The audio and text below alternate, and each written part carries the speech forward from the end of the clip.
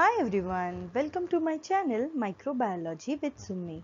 If you like my video, please like, share and subscribe to my channel.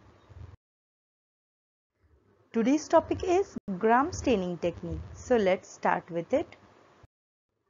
Let's start with short introduction. Now gram staining. Gram staining is a universal staining technique. It is used for classification and identification of microorganisms especially bacteria.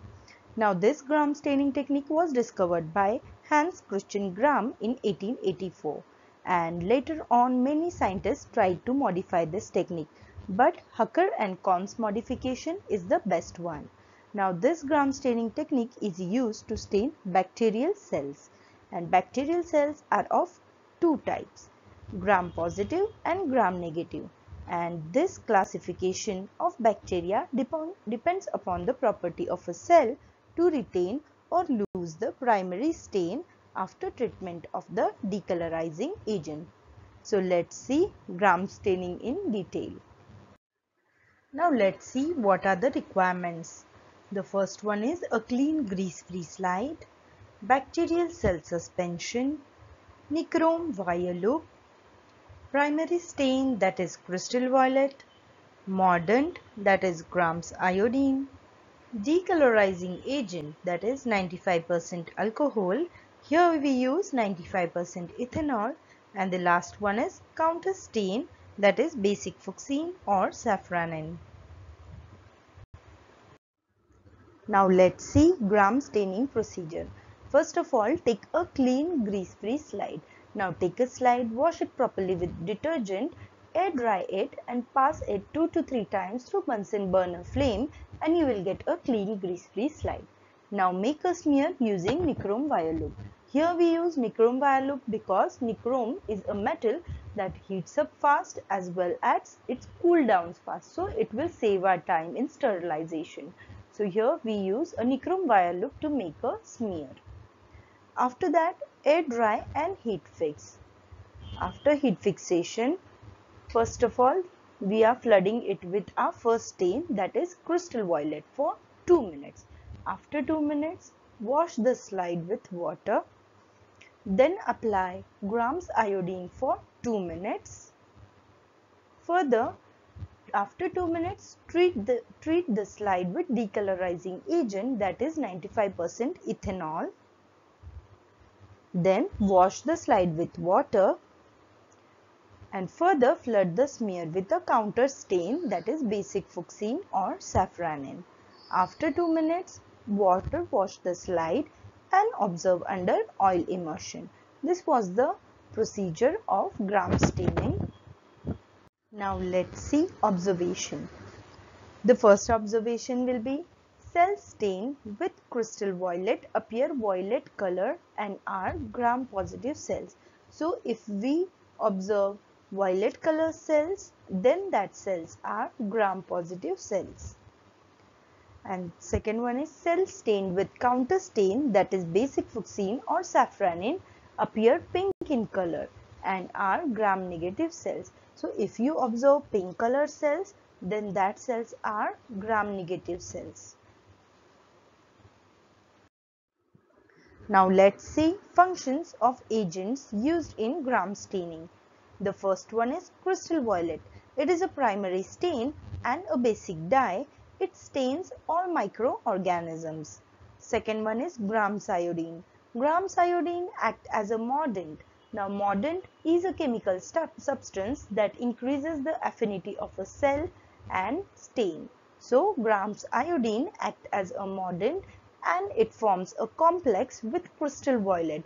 Now that complex is CVI complex. This complex increases the affinity between cell and stain. Now third one is 95% alcohol that is here we use ethanol 95% ethanol.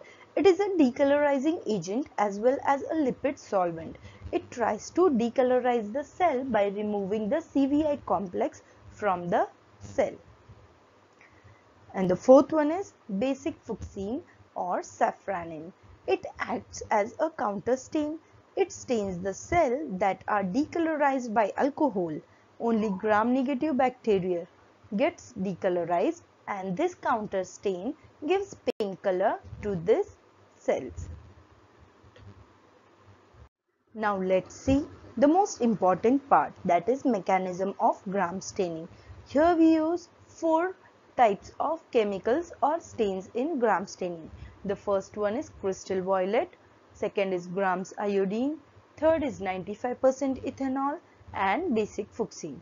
Now first of all we stain cells with crystal violet and the cells get violet color. Further, these cells are treated with grams iodine and this grams iodine is a mordant. It increases the affinity of cell and stain by forming CVI complex. Now, this CVI complex is present in cells. Now, we treat the cells with 95% ethanol and this ethanol is a decolorizing agent and here cells are of two types gram positive cell and gram negative cells now in case of CVI complex in gram positive cell CVI complex do not come out of cell now there are several reasons and the reasons are in gram positive cell the lipid content is 1 to 4 percent Due to ethanol, lipids get dehydrated and the pore size decreases due to which CVI complex cannot come out. The second reason is the peptidoglycan content is 40 to 90 percent in gram positive cell. So, there is a dense cross linkage of peptidoglycan due to which CVI complex cannot come outside the cell. And the third one is Gram-positive cell contains magnesium ribonucleates and it forms a covalent bond with CVI complex and thus the CVI complex does not come out of the cell and the cell gets violet color and so hence the gram positive cell appears violet in color. Now whereas gram negative cell in this gram negative cells CVI complex comes out easily. Now there are several reasons that why in gram negative cell CVI complex comes out. The lipid content of gram negative cell is 11 to 20 percent. Now this lipid content dissolves in ethanol and CVI complex comes out easily. Now the second reason is uh, peptidoglycan content in gram negative is less that is it is 5 to 10 percent due to which there is a thin layer of peptidoglycan cross linkage. So a CVI complex comes out easily. And the third reason is gram negative cell lacks magnesium ribonucleate. So CVI complex comes out easily. Thus cells takes the counter stain that is basic fuchsine and gram negative cells appear pink in color. So here gram positive cells appear violet in color and gram negative cells appear pink in color. I hope you understood this gram staining mechanism. Now let's see applications.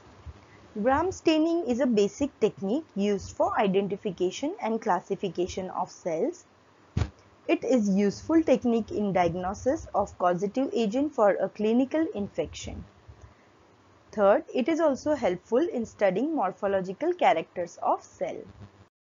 See some examples of gram-positive and gram-negative bacteria. Gram-positive bacteria are Bacillus, Staphylococcus, Streptococcus and Micrococcus whereas gram-negative bacteria are Pseudomonas, E. coli, Salmonella, Shigella, Proteus and Xanthomonas. Thank you for watching my video. If you like my video, please like, share and subscribe to my channel. Thank you.